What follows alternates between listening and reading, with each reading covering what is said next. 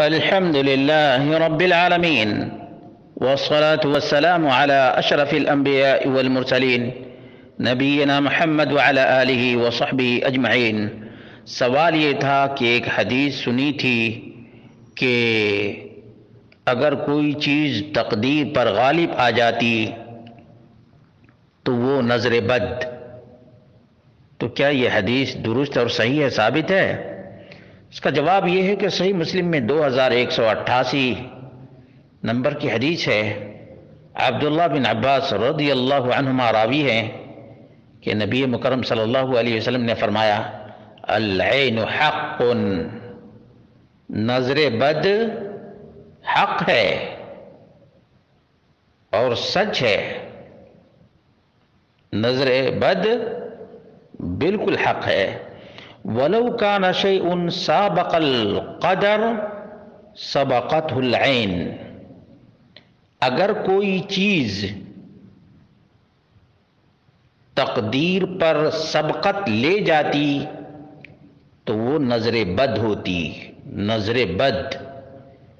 اس حدیث میں نظر بد کی حقانیت اور نظر بد کی حقیقت کو نبی مکرم صلی اللہ علیہ وسلم نے اجاگر کیا ہے۔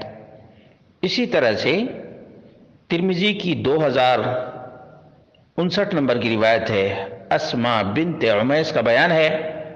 قالت، یا رسول اللہ، ان ولد جعفر، تسرع الیہم العین افا استرقی لهم اسما بنت عمیس رضی اللہ عنہ نے کہا، اللہ کے رسول، جعفر کے بچوں کو بہت ہی جلد نظر لگ جاتی ہے۔ تو کیا ان لوگوں کے لیے رقیہ کرواؤں؟ فقال، نعم۔ اللہ کے رسول صلی اللہ علیہ وسلم نے فرمایا کہ ہاں فَإِنَّهُ لَوْ كَانَ شَيْءٍ سابق القدر لسبقته العین کیونکہ تقدیر پر کوئی چیز سبقت لے جانے والی ہوتی تو نظر قدر پر سبقت لے جاتی۔ ابن عبد البر نے الاستذکار میں صحیح قرار دیا ہے۔ جلد نمبر سات، صفحہ نمبر چار سو نو۔ شیخ ناصر الدین الالبانی رحمہ اللہ نے السلسلہ صحیحہ میں بھی ایک ہزار دو سو باون پر صحیح قرار دیا ہے۔ معلوم ہوا کہ یہ بات بالکل درست اور صحیح ہے کہ اگر کوئی چیز